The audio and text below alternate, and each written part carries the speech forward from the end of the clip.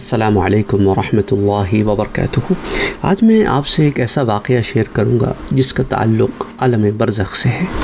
ये एक ऐसे बेटे का वाक़ है जो अपनी माँ का गुस्ताख था। और इस तरह के तीन वाक़ात मुख्तलिफ़ किताबों में आए हैं। और ये जो वाक़ मैं आपसे शेयर कर रहा हूँ, एक बहुत मशहूर अरबी की किताब है मन आश बादल मौत। पहले भी मैंने आलम बरज़ सीरीज़ में इसका रेफरेंस आपको दिया है। ये मुहदस कबीर अलहाफ़ अबी बकर बिन अबी दुनिया रहमत आपने ये किताब लिखी है, मन आश बादल मौत जो जिया मरने के बाद। तो इसमें वाक़ आता है, तीन वाक़ात हैं, तीनों सुनाता हूँ। पहला वाक़ अहले बसरा में से एक आदमी का कि वो बयान करता है कि हम बसरा के पास एक कुएँ के करीब से गुजरे तो हमने गधे के हिन हिनाने की आवाज़ सुनी। हमने लोगों से पूछा, ये आवाज़ कैसी है? कि कुएँ के अंदर से आ रही है, गधे की आवाज़ है कि कहीं इसमें कोई गधा तो नहीं गिरा हुआ? तो लोगों ने बताया, ये एक ऐसा आदमी जिसको इसकी माँ किसी काम का कहती तो ये उसको कहता, यानी अपनी माँ को कहता अस्तफ़िरल्लाज़ीम के गधी की तरह हिन हिनाती रहती है। यानी अपनी माँ की बात भी ना सुनता और माँ को बातें भी सुनाता, माँ को गधी भी कहता, माँ की बात को हिन हिनाना कहता। तो जब ये आदमी मर गया तो हर रात इसकी कब्र से हिन हिनाने की आवाज़ आती है। अच्छा इसी तरह आप एक और वाक़ लाते हैं। वो कहते हैं कि मुजाहिद बयान करते हैं कि मैं एक काम के सिलसिले में निकला तो रास्ते में एक गधे को देखा कि वो ज़मीन से अपनी गर्दन को निकालता है और तीन मरतबा हिन हिनाने के बाद दोबारा ज़मीन में चला जाता है। मैं इसके बारे में लोगों से पूछने के लिए गया तो उन्होंने मुझे कहा कि तू इसको जानता है? मैंने कहा, नहीं। तो उन्होंने कहा यह फ़ुला कबीले का नौजवान है। इसकी माँ इस चार दीवारी में रिहाइश पजीर है।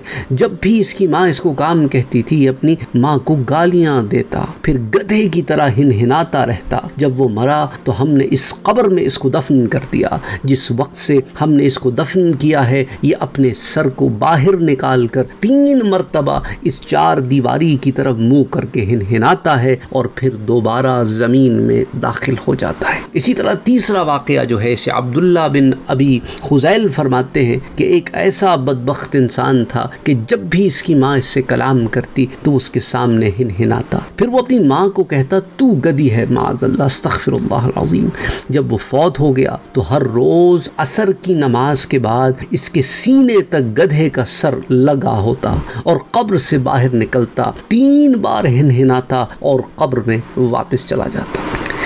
इन्ना व इन्ना राजिऊन। ये वाक़ सुनाने का एक मकसद तो आपको ये है कि देखो, वो लोग जिनके माँ बाप ज़िंदा हैं, अपने माँ बाप की गुस्ताखियाँ ना करो। उनके साथ अच्छे से रहो, प्यार, मोहब्बत से रहो, उनकी कदर करो। कभी कभी माँ बाप उम्र की वजह से झुंझला जाते हैं, कभी मसाइब व आलाम ज़िंदगी, कभी आप उनकी टेंशन का सबब बने होते हो, पढ़ते लिखते नहीं हो। अगर पढ़ लिख गए हो तो काम धंधा नहीं करते, पाँव पे खड़े नहीं होते, मुफ़्त की रोटियाँ तोड़ते रहते हो, बिस्तर तोड़ते रहते हो, गलत दोस्तों में उठते बैठते हो अयाशियों में पड़े हो, फ़िल्में देखते हो, गाने सुनते हो, नमाजें नहीं पढ़ते, कुरान नहीं पढ़ते, दीन से शगफ नहीं है, कोई भी वजह हो सकती है, वो परेशान रहते हो और वो कहीं ना कहीं वो बात निकल आती हो। इंसान ही है ना।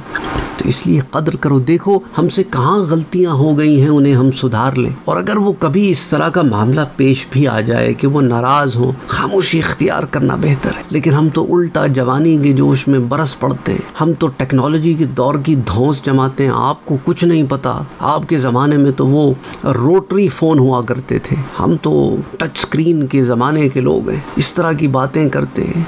देखो ये मिसालें इसलिए पेश की जाती हैं कि इंसान के पास अब भी वक्त है, संभल जाओ, सुधर जाओ, बाज आ जाओ। गलतियाँ कर ली हैं तो उस पर तोबा इस्तगफार करो। और जिनके माँ बाप रहे नहीं, उनके लिए मैं पहले भी दर्स आपको दे चुका हूँ। उनके लिए ईसाल करो। अल्लाह से मुआफ़ी मांगो। और जब किसी के लिए ईसाल सवाब करते हो ना, दुआ करते हो तो उसे तोहफ़तन ये चीज़ें मिलती हैं। और साथ साथ ये भी बताया जाता है कि ये किस शख्स ने भेजा है। और माँ बाप पर औलाद के अमाल भी पेश होते हैं। तो उन्हें खबर होती रहती अच्छे काम करते रहो उनके लिए ईसाल और दुआ करते रहो। उससे उनकी दर्जात बुलंद होंगे उनके लिए आसानियाँ पैदा होंगी। वो तुम्हें माफ़ कर देंगे। माँ बाप हैं औलाद से नाराज़ नहीं रह सकते। उनके जिगर के टुकड़े हैं। असलकम वरहमल वर्क Don't forget to like, share, comment and subscribe to Sayyid Saad.